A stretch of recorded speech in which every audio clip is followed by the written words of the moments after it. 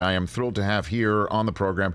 Um, um, let's just put it this way Freddie Freeman isn't the first Dodger to a person in Los Angeles to sell out Dodger Stadium this year. It's this man. And not only just once, but they added a second show because Dodger Stadium, the largest Major League Baseball stadium in the United States, uh, sold out so quickly they added a second date, May 6th and 7th, right here in Los Angeles, California. Gabriel Iglesias, good to see you here, sir. Hello, good morning. Good to see you. This is awesome. This is awesome. It's awesome to have you here. Thank you. You got it. Uh, Dodger, brother, congratulations on, on that. So, um, when's the first time you, you ever went to Dodger Stadium? Ah, I was a kid. Uh, we won baseball tickets in a raffle, Uh-huh. and my brother took me to a game. This is like God, about thirty some odd years ago. Yeah. And so, who'd you see? Do you remember that? I couldn't. I want to say it was the Astros. I want to say it was Oh, the Astros. so they were cheating, is what you're saying. You know, is that wrong? Was that too quick? Right out. I'm just trying to. too soon. Too soon. No. I've been in Los Angeles too much. Alex Bregman will never talk to me again. But uh, so you saw the Astros 30 years ago in Dodger Stadium. Yeah, at least at least thirty years ago. And since then, I've been to a bunch of different games. Got a chance to catch uh, one of the World Series games against the Astros. Okay. Ironically, Have you I, done I it? won't say whether or not they were cheating. It might have been that day. It might have not. You just heard a loud bang. It was yeah. It was, it was- I thought it was the sheriff's station next door. They got a gun range.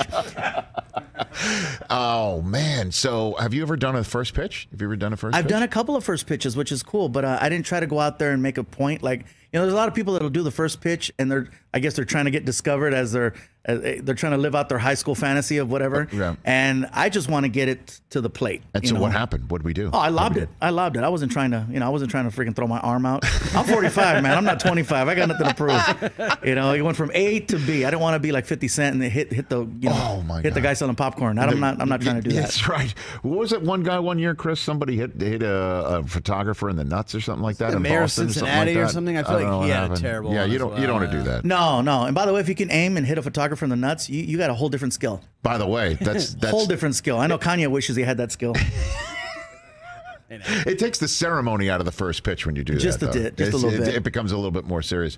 So, uh, when uh, how did uh, um, a Dodger Stadium gig come to be? How did that first happen? Uh, well, I, I think it's like anything. You know, you start off at a certain place, and then once you outgrow that, then you go to whatever's next, and then you outgrow that, and you go to whatever's next. So originally, starting off in here in Los Angeles, Yeah. doing shows in garages and, and next to swimming pools, performing outside of a and patios, and just Yeah. wherever I could do shows. Because in the beginning, I wasn't allowed to perform in comedy clubs. You had to be t- over 21.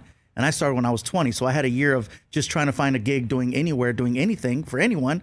And I didn't say no, no. I didn't say no to anything. And just little by little, eventually got into clubs, then eventually got into theaters, then into arenas. And then it was, you know, we did two Staples Centers when it was Staples Center. Yes. And so we're like, now that we're back from COVID, uh, we have been out of the market for a while. So we said, let's try to do something that's that, that outdoes that last thing we did.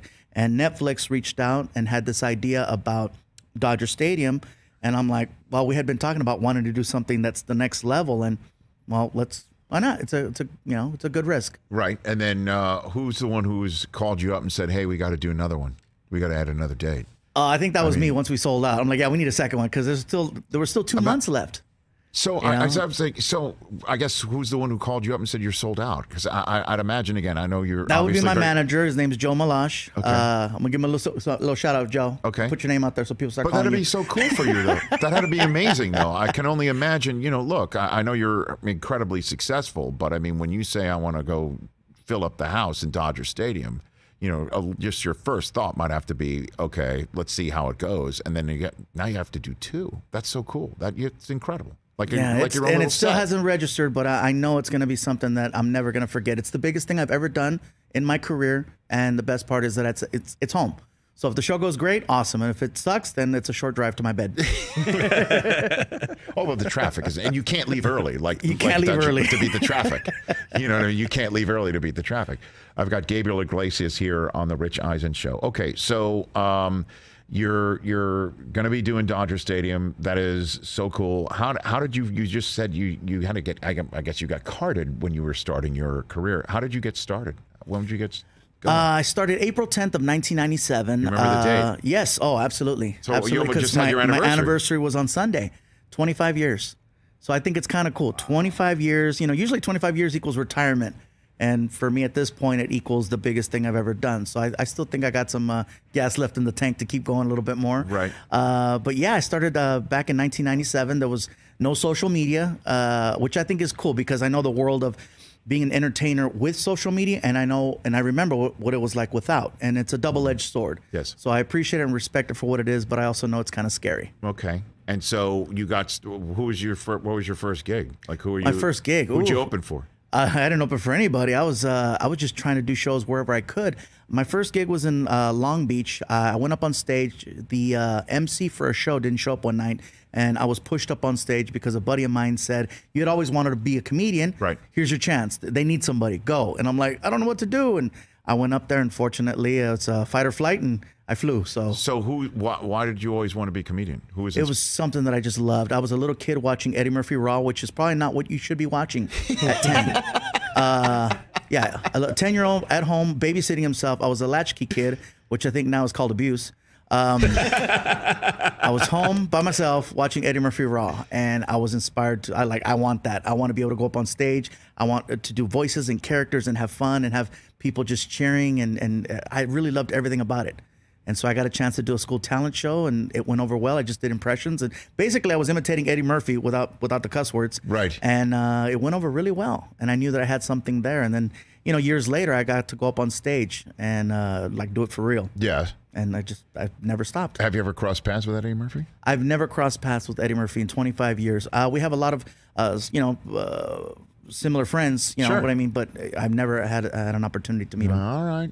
I mean, One day, Eddie, come on. You never know. I mean, um, so okay, then, and so who was the first? What was the first big break then for you? First big break. Oh, there's a lot of those. Uh, you know, a lot of steps. The first time I got to be on Comedy Central, um, it was on a TV show called Make Me Laugh, which was an old show from the 70s and 80s. I remember that. And they brought it back. And, I remember uh, the, the guy who was hosting was Bobby Van back in the day when I because I'm 52. I remember watching Make Me Laugh, and that was something that I always thought would be so difficult to do.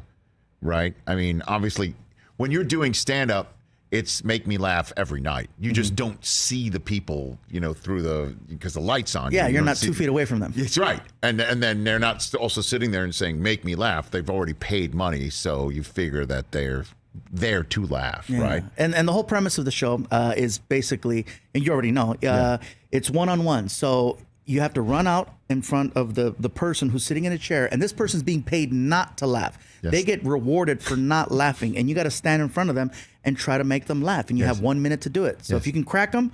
Then they don't get paid, but if they stay stone faced, then Yeah. then they make money. So that's a lot of extra pressure. I would agree. Yeah, I know. Okay, so then you've done that, and I, I, I'm I'm so thrilled. So now that you're in a in a Dodger Stadium, let's say you're going, what is your pet peeve at a ball game when you're a fan? Oh man, Like what drives you nuts? Yeah. Well, and, and it's hard because people are excited. Uh, people right next to you or behind you screaming just Yeah. random things. Right. And it's you can't help it. You're at a game. That's that's what you're supposed to do. So it's kind of like, uh, all right, okay. Oh, for me anyway, uh, Yes. the main one is when I go to the bathroom and people want to have full blown conversations. when I'm just, you know, I'm just trying to make this happen. You know, and it's one thing if you're standing, but when you're sitting, that's a whole different level of about to say- concentration that I need. And they want to have full blown conversations about that. And I'm just like, ah, when you're doing one, well, both one and two. Because you know, if they Come see on. me, they, if somebody will see me going into the stall, that that's just because the door closes doesn't mean that I'm closed off. You know, there's still that space underneath, and I've had people go, yoo-hoo, and I'm like, really? I don't know, because to me, all right, Or they'll put the camera underneath, and I'm just like, oh my god. while we're on the Can I get subject a here, quick selfie? Yeah, can I get a no? Seriously, people. I've done so many restroom selfies. to me, to me, and I, I, I will go here right now. I mean, we're the, the if the figurative door is open here, Gabriel Iglesias, um, that if I'm going into a stall at a public event, there's something seriously up that requires commitment for me to actually do this thing, and I think that would automatically show that you don't want to be bothered at all. Am I wrong? Yeah, I got a situation. Yeah, I need my five, ten minutes. right? Yeah. At a public spot, Right. You know where At a there's game like or a concert Yeah, or if it's a game, there's a hundred people in come there too, at least. It, right? There's constantly people coming in and out, you know, going in and out. But uh, for me, like I have to seriously be at the point where I have no no self control in me to have to go do that because you know you don't want to go at a, at a anywhere public. You don't want to go. You want to go at home. You want to go at home where you can take where you can get butt naked and just sit there, you know, and start the dog if you got one, and just be like, yeah, I know. um, and then you can jump in the shower straight, you know, wash off the shame. But, but when you're at a, a public event like that, you, you don't want to have to go in there. And if you do, you just know like, oh, I just need to do this as quick as possible. I don't want to be in here. But sometimes people don't respect that little door, that little wall. No, you know? no. And, so- you strike me again um, as one of the most well-adjusted comedians I've ever met. Uh, thank you. You're very welcome. Um, and so uh, you probably want to give your fan who's coming up to you what they want.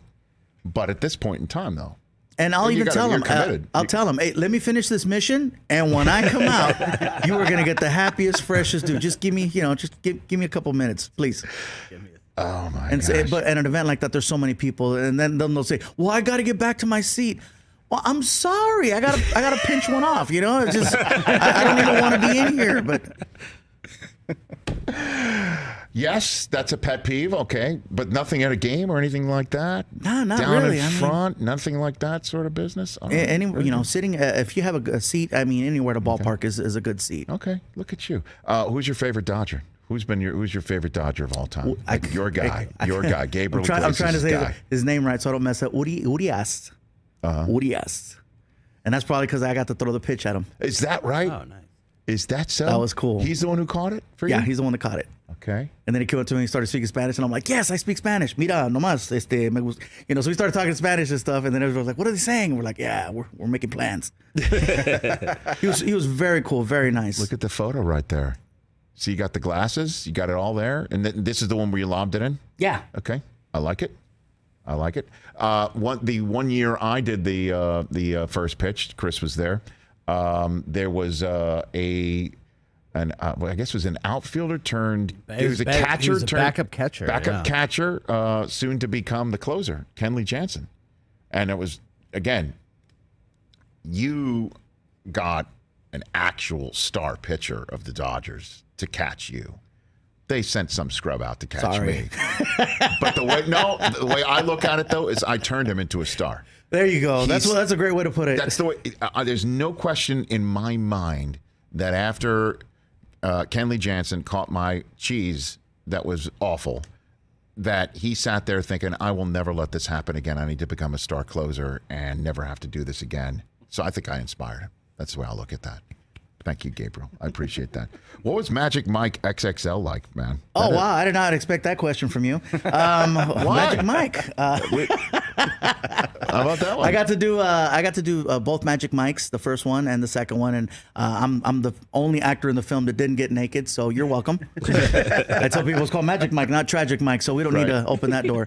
Um, being in that film was was something else because I mean I love the fact that they had to be very strict with their diets, and so craft services was very interesting because you'd see one table covered with just like straight up vegetables, no dressings. I mean, they had to eat super clean in order to stay looking the way that they did. They were Yes. working out all day long. They had rubber bands and weights the whole time we were on set and eating the food. But then right next to that was the other table for the non-naked actors, and that was that was a good time because I didn't have to share.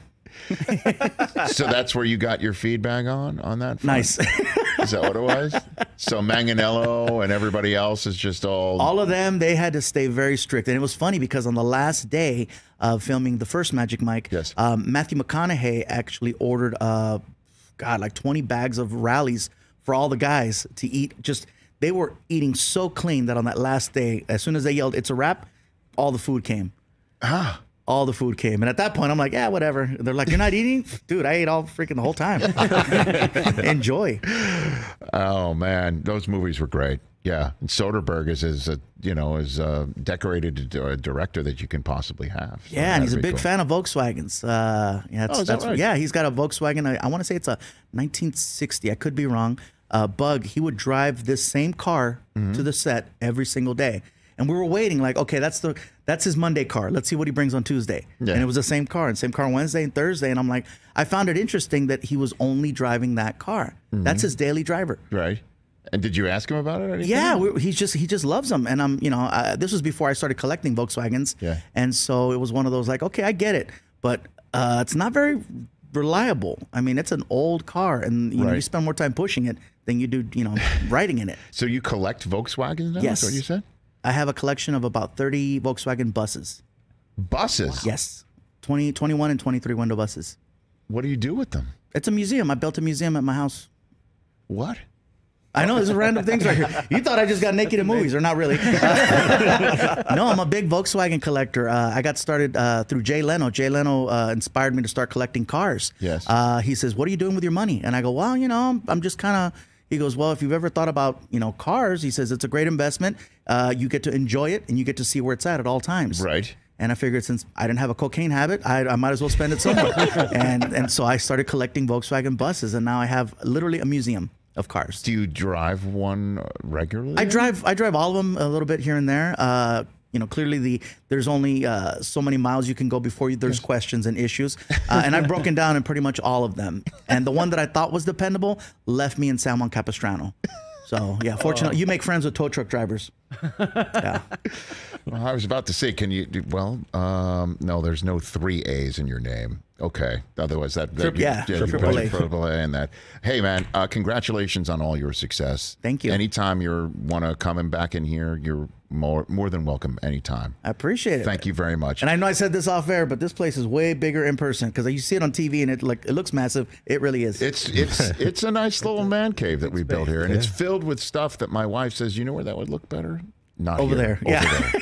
it's filled with stuff that I, you know, thank goodness we have it because I don't know where I'd put any of this the stuff. biggest flex I ever put in my man cave was a urinal. FYI, I just thought I'd let you know. Oh, is that right? yes, a urinal because I could not have one at home. Is that right? Yeah. So She said, "This is not a truck stop. I do not want a urinal here." I said, "All right. Well, I get up a lot at night to pee, so good luck in the morning."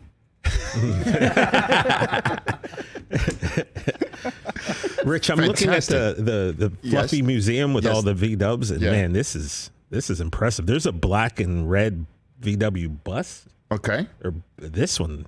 Some of these are incredible, man. Okay. It is literally a museum. Fantastic. really is. Well, great, man. Congratulations on that. Again, uh, the dates at Dodger Stadium, May 6th and 7th. I don't know. I'm giving them out because they're all sold out. But you're going to Vegas this weekend, Macon, Georgia, Birmingham, Alabama, and the Smoothie King Center in New Orleans coming up uh, the week after that. FluffyGuy.com for more tour dates and ticket information for Gabriel Iglesias. Great to see you, sir. Thank you. Hey, you watched all the way to the end. Thanks for that. Watch more right here.